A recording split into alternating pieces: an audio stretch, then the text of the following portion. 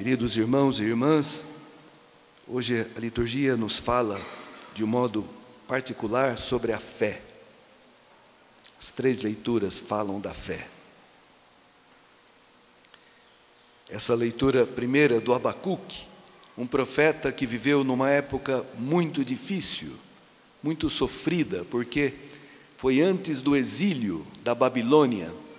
Jerusalém estava cercada pelos, pelo exército de Nabucodonosor. Começava a fome, a violência, e, e o profeta se desabafa diante de Deus: Senhor, até quando clamarei sem me atenderes? Até quando devo gritar a ti violência sem me socorreres? Muito interessante esse tema da oração não atendida. Quantos de nós, às vezes, nos frustramos porque parece que Deus não nos escuta, parece que Deus fica em silêncio, parece que Deus é surdo. Nós somos apressadinhos, gostaríamos das coisas na nossa hora, né?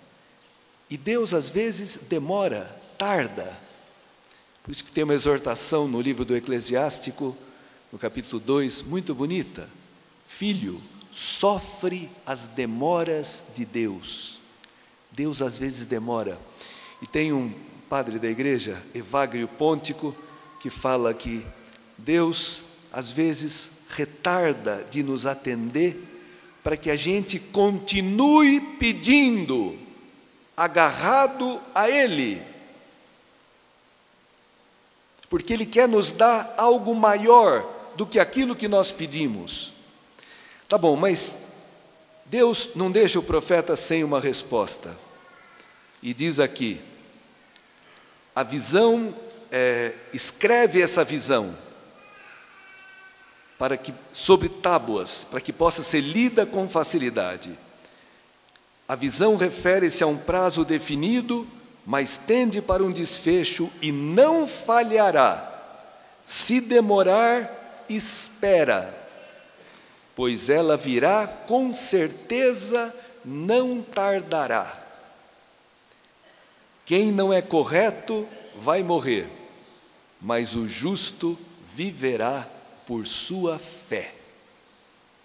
Essa frase, o justo viverá por sua fé, São Paulo a pegou e fez dela a base da sua teologia da carta aos Romanos e da carta aos Gálatas. A justificação do homem pela fé e não pelas obras da lei. O justo vive pela fé. O justo é aquele que se ajusta à vontade de Deus. Qual é a atitude certa para se ajustar à vontade de Deus? A razão, compreender tudo entender tudo o que acontece? Não. Confiar, abandonar-se no Senhor, apoiar-se em Deus. A fé, em hebraico, vem, é uma palavra emuná, que significa apoiar-se numa coisa sólida, em algo firme.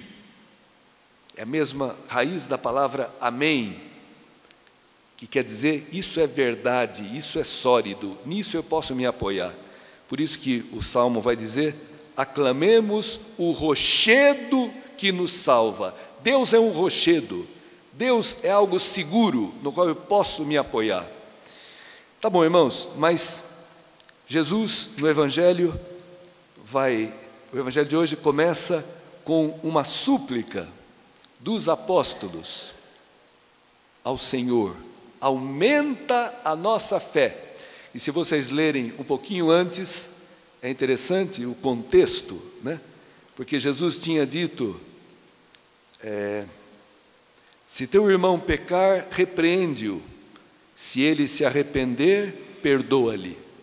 E caso ele peque contra ti sete vezes por dia, e sete vezes retornar dizendo: Estou arrependido, tu lhe perdoarás. Diante dessa exigência de Cristo, do perdão absoluto, os apóstolos falaram: opa, minha fé está pouca, está fraca, não chega até aí. E eles pedem, Senhor, aumenta a nossa fé, porque para amar é preciso ter fé, para perdoar é preciso ter fé, para esperar é preciso ter fé. A fé é um dom de Deus. o catecismo da igreja diz que a fé é uma das três chamadas virtudes teologais. Por quê? Porque vem de Deus. É Deus que dá essa confiança, é Deus que dá esse dom, essa graça de poder confiar, esperar em Deus, mesmo quando tudo parece contrário. E Jesus vai, vai dizer, diante desse pedido, vai dizer: Se vós tivesseis fé, mesmo pequena como um grãozinho de mostarda, não sei se vocês já viram o tamanho de um grão de mostarda, é um cisquinho, é uma poeirinha, é ínfima. Você poderia dizer a essa amoreira: arranca-te daqui e planta-te no mar ou seja, uma coisa impossível. Como é que uma árvore enraizada vai se soltar e vai replantar no mar, que é um lugar onde não dá para plantar as coisas, né? Pois bem, aquilo que te parece impossível, as tuas forças, a tua capacidade, a tua lógica, a fé torna possível. Interessante, irmãos, que depois de todos os milagres que Cristo faz, muitos deles, né, curando um cego, purificando um leproso, é, atendendo um pedido, Jesus fala: vá em paz, a tua fé te salvou. Foi a tua confiança em mim que permitiu que eu fizesse esse milagre. Sem fé não tem milagre. E a fé é um ato difícil de humildade, porque a fé é não me apoiar nas minhas forças, não ficar olhando para o meu umbigo e para a minha capacidade, mas confiar que Deus pode o impossível. Maria, diante do anúncio do anjo, você vai ser mãe, como é que vai ser isso se eu não conheço o homem? Não temas, Maria, o Espírito vai pousar sobre ti ela fala: Eis a serva do Senhor, faça-se em mim segundo a tua palavra. E Deus e o Espírito Santo fez, gerou dentro do seio da Virgem Jesus. A fé essa resposta do homem, que é uma graça de Deus, a ação de Deus, que supera completamente a nossa capacidade, o nosso poder. E eu falei, a fé supõe humildade, por isso que a segunda parábola que, que Jesus conta hoje, do servo, quando volta do serviço, o patrão já vai convidá-lo para a mesa? Não, fala, você me serve primeiro, depois, depois você come e bebe. E Jesus termina dizendo: é, depois de ter desfeito tudo, é difícil a gente fazer tudo, dizei, somos servos inúteis, somos simples servos. Fizemos o que devíamos fazer, cumprimos a nossa obrigação. Ou seja, Jesus está ensinando também, irmãos, uma lição de humildade maravilhosa, porque o grande perigo de nós que somos de igreja e que fazemos muitas coisas é nos achar no direito de alguma coisa de apresentar a Deus a fatura. Olha, Senhor, o que eu fiz. O Senhor me deve. Não, irmãos, o Senhor não nos deve nada. Estar na igreja, poder trabalhar pelo Senhor, poder fazer o bem, é uma graça de Deus, é um dom de Deus. Santo Agostinho fala que Deus, quando premia os seus, quando os recompensa, está premiando os seus próprios méritos, porque é Deus que nos dá a capacidade.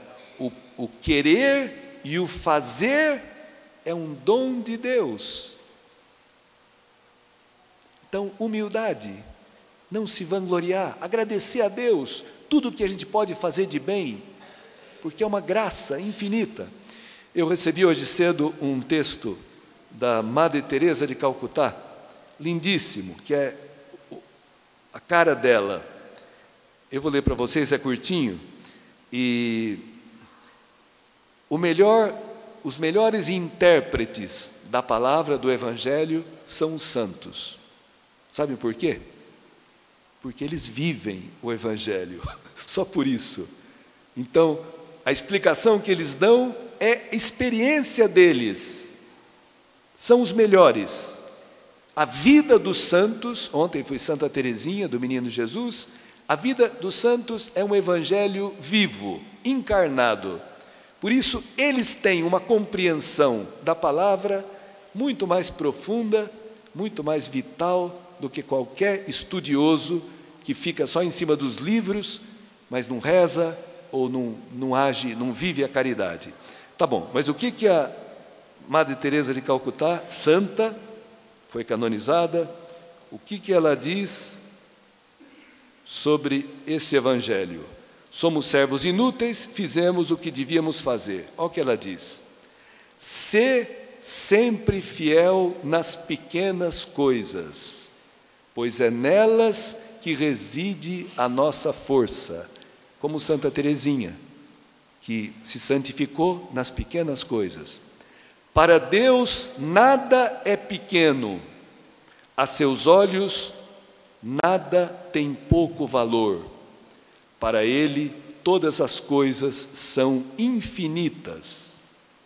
Põe fidelidade nas coisas mais mínimas, não pela virtude que lhes é própria, mas por essa coisa maior que é a vontade de Deus e que eu respeito infinitamente. Não procures realizar ações espetaculares. Devemos renunciar deliberadamente ao desejo de contemplar o fruto do nosso labor, fazendo apenas o que podemos, o melhor que podemos, e deixando o resto nas mãos de Deus. Olha que beleza. O que importa é a dádiva que fazes de ti mesmo. O grau de amor que pões em cada ação.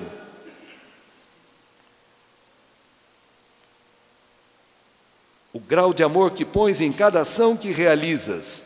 Não te permitas perder a coragem perante os fracassos. Se de fato deste o teu melhor, e recusa a glória sempre que fores bem-sucedido. Oferece tudo a Deus com a mais profunda gratidão. Sem, Sentires-te abatido é sinal de orgulho, que mostra quanto acreditas nas tuas forças. Deixa de te preocupar com o que as pessoas pensam. Ser humilde e coisa alguma te importunará. O Senhor ligou-me aqui ao lugar onde estou, será Ele a desligar-me. Fantástico, irmãos. Ela viveu tudo isso. Fez uma obra. Um dia perguntaram para ela, né? É, Madre, é, a senhora tem a ilusão de querer mudar o mundo? essas casas que a senhora abre em toda parte do mundo, cuidando dos mais pobres, a senhora acha que diante da, do tamanho da, do mundo, isso vai mudar alguma coisa? Ela falou: Olha, eu sei que isso é uma gota d'água no oceano, mas o oceano ficaria menor sem essa gota d'água. Então eu jogo ela, faço a minha parte, sem nenhuma pretensão de grandeza. Esses são os santos. Esse é o espírito do Evangelho. Tá bom, irmãos? Jesus foi esse grãozinho de mostarda, pequeno, pobre, fraco, sem exército, sem dinheiro, sem, né, sem poder humano, que foi plantado né? e que ressuscitou, porque ele confiou totalmente no amor do seu Pai, deu sua vida por nós, ressuscitou, está vivo e é o Senhor, Ele, o verdadeiro Senhor. E, e a nossa fé está apoiada nele, no amor de Cristo, no poder de Cristo. Por isso que São Paulo, hoje na segunda leitura, falava para esse bispo, jovenzinho, Timóteo, e um pouco tímido, dizia para ele: Eu te exorto a reavivar o dom de Deus que há em ti. A fé é um dom, mas precisa ser reavivada. Como é que nós reavivamos a fé? Rezando, lendo a Escritura, fazendo a vontade de Deus, procurando fazer as pequenas coisas da nossa vida com amor, com dedicação, colocando o nosso coração naquilo, né? Pois Deus não nos deu um espírito de timidez, de medo, mas de fortaleza, de amor e de sobriedade. Olha que maravilha, irmãos, o espírito que nós recebemos na igreja, escutando a palavra, acreditando nela, recebendo o corpo de Cristo na Eucaristia, um espírito de fortaleza, de coragem, para enfrentar a vida que não é fácil, para carregar a nossa cruz. Fortaleza, coragem, confiança em Deus, um espírito de amor, porque o que importa é o amor, irmãos, o que constrói é o amor, o que dá satisfação é poder amar, ser amado e amar, e um espírito de sobriedade, de equilíbrio em tudo. Quem não tem a sobriedade é um desequilibrado e nós facilmente, se não, nossa vida não estiver apoiada em Deus, nós desequilibramos no comer, no beber, no, no, no, no celular, na televisão, desequilibramos, exageramos na dose, né? E é o Espírito Santo, é a fé que nos dá esse equilíbrio, essa liberdade e que nos ajuda a sofrermos pelo Evangelho, não termos medo de sofrer por causa da vontade de Deus, do Evangelho de Cristo.